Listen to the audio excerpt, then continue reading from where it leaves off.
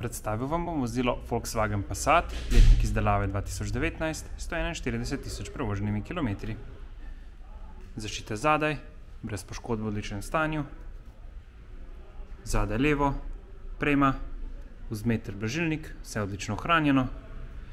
Enako na desni strani, prema, vzmeter blažilnik, v odličnem stanju.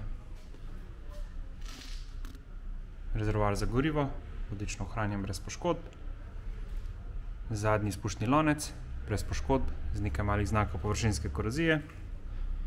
Zaščita podvozja na levi strani ter na desni strani, vse v odličnem stanju.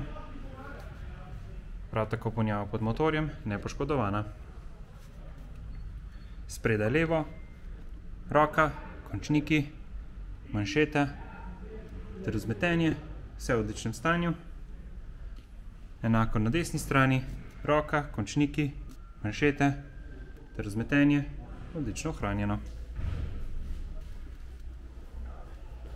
Prednji odbijač ima le na spodnji strani nekaj zelo majhnih površinskih praskic, drugače zelo dobro ohranjen. Platišče spredaj levo, brez poškodb in brez prask, pnevmatika letnik dva tisoč enaindvajset z osmimi milimetri profila. Prag vozila na levi strani je brez poškodb.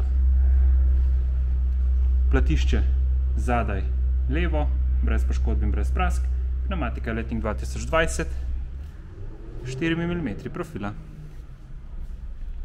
Zadnji odbijač, zelo dobro ohranjen, brez poškodb. Platišče zadaj desno, brez poškodb in brez prask. Pneumatika letnik 2020, 4 mm profila. 4 mm profila. Prag vozila na desni strani je v odličnem stanju. Platišče spredaj desno, brez poškodb in brez prask. Pneumatika je letnik 2021 z 8 mm profila.